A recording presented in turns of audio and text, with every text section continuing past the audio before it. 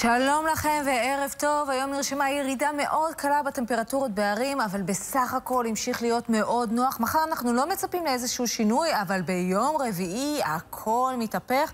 בואו נתחיל קודם כל ממה שצפוי לנו הלילה הזה. שמיים בדרך כלל אה, בהירים, פה ושם גם נראה עננים, טמפרטורות קצת יותר גבוהות מהלילות האחרונים, אבל עדיין קר. בערים אנחנו מדברים על 7 מעלות בלבד, לאורך מישור חוף 7 עד 11, בצפון הנגב 9 מעלות, באילת 12 מעלות. מחר גם דומה למה שצפוי לנו, מה שהיה לנו היום, מעונן חלקית עד בהיר. טמפרטורות כמעט בלא שינוי באופן יחסי להיום, 14 עד 15 מעלות בערים, 17 עד 18 לאורך מישור חוף, 21 בצפון הנגב, 25 מעלות באילת. והנה התשקיף שלנו שמראה לנו שאנחנו כבר נכנסים ממש לתוך האביב, כי מזג האוויר מתחיל לזגזג. אז מחר, דומה להיום, שלישי, יום מאוד חם, עלייה ניכרת בטמפרטורות, תורגש בכל אזורי הארץ, יהיה חם ויבש מהרגיל.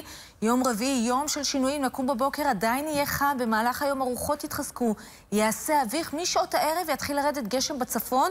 במהלך הלילה, בין רביעי לחמישי, הגשם הזה יתחזק ויתפשט גם לאזור המרכז. יום חמישי, יום של גשם מקומי מצפון הארץ עד צפון הנגב, אפילו קיים חשש משיטפונות, שלג בחרמון.